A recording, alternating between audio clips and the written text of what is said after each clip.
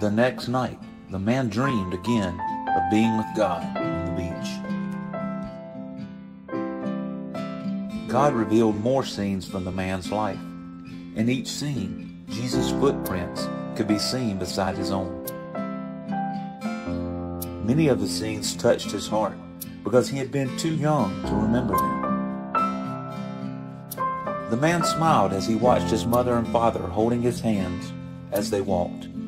For a brief moment, there were eight footprints. Then another pair appeared with the birth of his baby sister. There was laughter and happiness. The man wept as his mother's footprints began to fade, then abruptly disappear into the fog. A flood of tears poured from him as he watched his father's footprints change direction, walking slowly away from his own and into darkness. Overwhelmed with sadness, the man could barely watch as his father walked farther and farther away. An intense and excruciating emptiness filled his mind, his body, and his soul.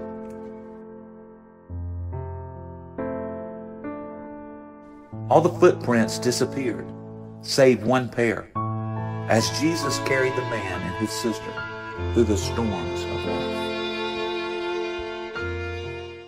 Suddenly, the beach was filled with footprints of all shapes and sizes. Joy filled him as he remembered being adopted into a big family.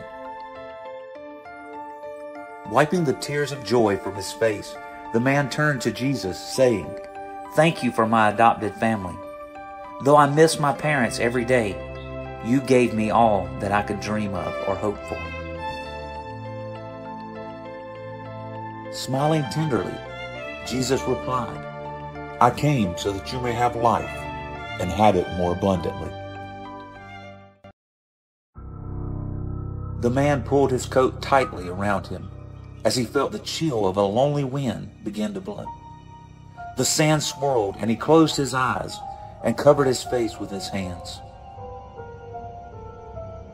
As the wind faded, the man slowly wiped the sand from his face, opened his eyes, and found himself in a desolate forest filled with murky shadows.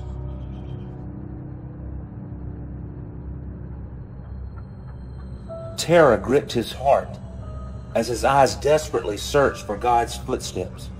Yet in this desolate land, he could only see his own solitary set of footprints. The man dropped to his knees in despair when all of a sudden, through the blackness, a soft, glowing pair of footprints began to make their way towards him.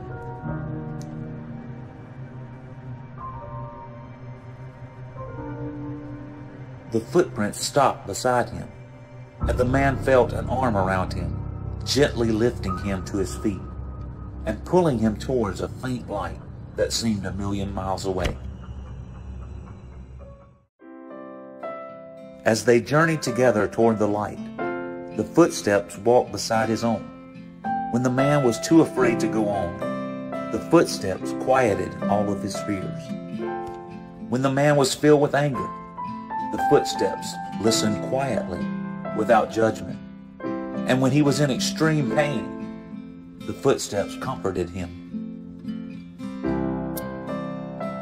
Slowly they pressed on towards the light until finally the light overcame the darkness. As the man bathed in the brilliance of this dazzling light, he fell to his knees and praised God for guiding him out of the darkness. God graciously grinned. Though I was watching, my son, those were not my footsteps beside you. The man questioned, Then whose footprints were they? God replied, Carry each other's burdens, and in this way you will fulfill the law of Christ. I do not understand, said the puzzled man. God looked upon the man with compassion and said, It is not always I who comes to your rescue. Often I employ someone of your own kind. Now you go and let your footprints light the path for another.